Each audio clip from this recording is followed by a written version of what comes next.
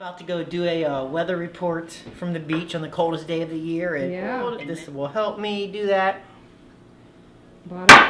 right, Are you ready? Woo! Let's go. let's do it. All right, getting ready. Okay. Getting ready for my weather report. All for, for the love of meteorology. Mhm. For people need to know that it's cold to my naked flesh. All right, now don't get too excited. I got a bathing suit on under here. All right, the hat's coming off. Oh. No, the Oh. hat's coming off. Okay. Wow, I you know. were serious. Hey, this is Doug Douglas here, local meteorologist reporting. Uh, it's not as cold as people say. Obviously, I'm fine. Why are your nipples hard? My nipples could cut glass right now.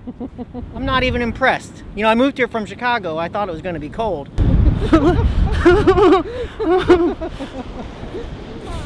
uh, it's a little, it's chilly, you know, but it's not crazy. I should get in the water. I could get in the water if I wanted to. I just don't want to. For, I'll do it for you guys. I'll do it for meteorology because I love meteorology. Rip current is no issue today, so you know, surf your little butt off. Uh, it's a little windy, it's not bad. The uh, barometric divometer is reading 0.7 on the Hueley scale. I don't know about the fish. Uh, some, they're warm in the water. They're probably okay. Let's try to interview this seagull here. Excuse me, sir. Excuse me, sir. No, no, wait, wait. Too too cold for him. Too cold for him. Whatever. Whatever. I'm cool. Today's a great day to find shells because nobody else is out.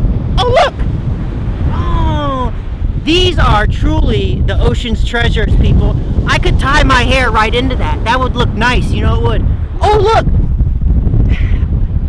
You could use this as a shoehorn or uh, a spoon or you know th- these aren't just you know beautiful objects they're, they're useful they're useful tools and uh, we got to respect our heritage now i'm getting really cold Woo! good game everybody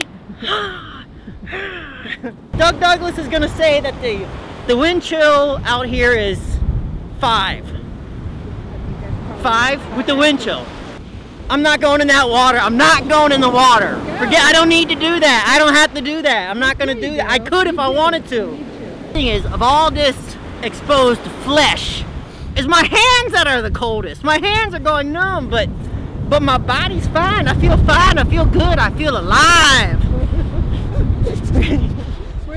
Where's the hot tub? Come on, hey, come on. Ha ha, come on. Okay, now you gotta be really cold on that sand. Keep recording. I need that. Give me my blanket. You're supposed to drape it on me. Hmm. Okay. It got cold. I did get a little bit cold, I'll be honest. I, I got a little cold eventually, but not at first. At first, I felt fine.